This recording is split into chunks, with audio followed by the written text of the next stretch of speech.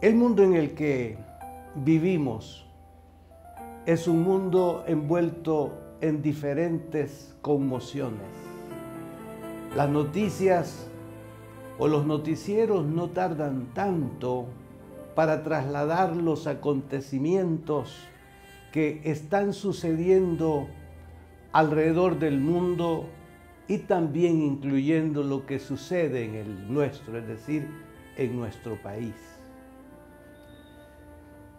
No vamos a negar que al leer o al escuchar o al ver escenas eh, de masacres, de situaciones violentas, no dejen de entristecer y quizá en algún momento entrar en ira.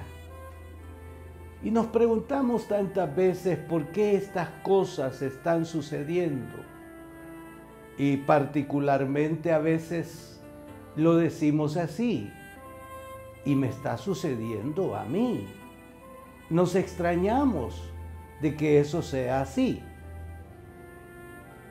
Nos ha hecho falta lo digo con mucho respeto, apreciados, nos ha hecho falta una verdadera comprensión de que las cosas que pasan, de alguna manera, tenemos un granito de participación.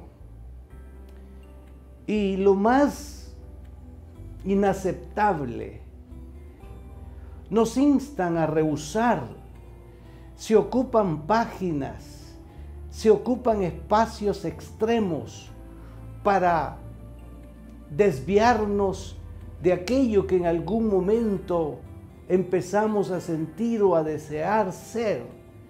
Y con eso que deseamos ser, dar un aporte de cambio y de transformación.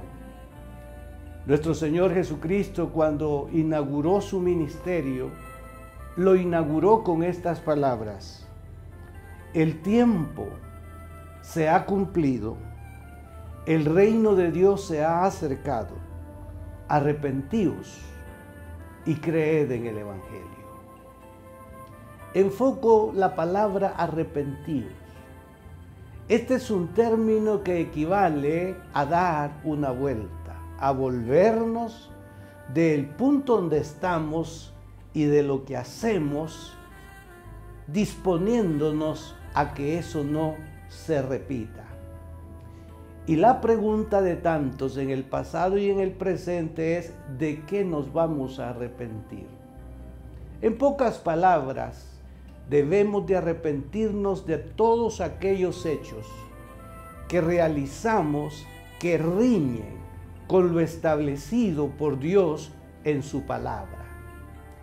Si su palabra no haya cabida en el corazón nuestro, viviremos en conformidad a nuestras pasiones y a nuestros deseos. Y estaremos buscando que se nos avalen dichas pasiones y dichos deseos, olvidando que estamos atentando contra nuestra tranquilidad en el presente y con nuestra eternidad en el futuro. Sinceramente, estimados amigos, el mensaje del Evangelio es una necesidad y este es arrepentíos y convertíos de vuestros malos caminos. Entonces las cosas serán diferentes. Y este es el llamado de Dios para sus vidas.